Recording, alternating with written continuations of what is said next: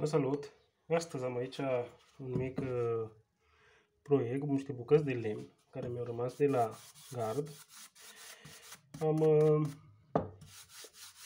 de ce să fac la bancă o mică măsuță acolo, așa, când mi-am făcut banca aici pe terasă, să fac o mică măsuță și din bucățile astea care mi-au rămas de la gard, fac, uh, le dau cu ulei de in. Gardul, când mi l-am făcut, mi-am făcut din scânduri, cumpărate toate la dimensiunea asta, da, de 12, 12 în sensul ăsta. Și am zis că îl ard și de unul ăsta e ars. Încerc un purjăluitor de la de porci. Cu... Nici l-am avut, că nu am animale aici la gospodărie.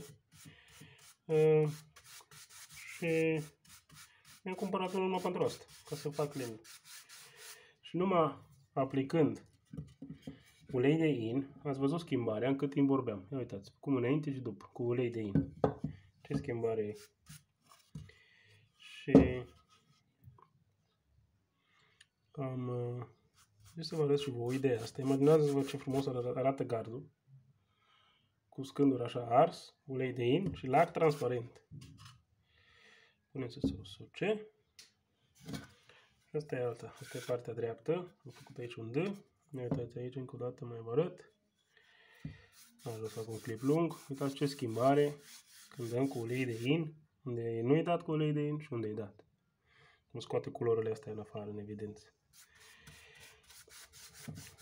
Și cel mai bun de protejat lemnul, că în loc de grund, da, cu ulei de in. Și asta am vrut să vă arăt astăzi. Ideea asta de ulei de in, lemn ars, da? În părțile astea mici, cum de exemplu aici, asta am ars când am făcut gardul și partea asta unde am tăiat și am decupat, am ars acum. Părțile astea mici putem să le ardem și cu un arzător de asta, dacă ai un proiect mic. Nu? Dar dacă aveți de când să faceți un gard, așa, să faceți gardul în față, să arate ceva mai deosebit, puteți să faceți asta din ulei de in. Mie îmi place lemnul. Îmi place cum arată lemnul, lemnul e frumos, dacă îl prelucrez un pic, dacă... Bineînțeles, pe gusturi. Poate la altul nu-i place așa, poate la altul îi place să fie drept, frumos, fin. Dar mie îmi place lemnul și am să fac aici ceva deosebit. Și balustrăzile la terasă din față, din spate, din lemn. Uh, tavanul la terasă e din lămbriu de lemn. Și cam asta e